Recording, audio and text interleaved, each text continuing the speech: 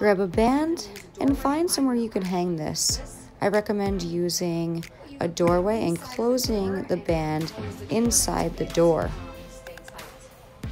Go ahead and get into a split stance, one leg in front of the other.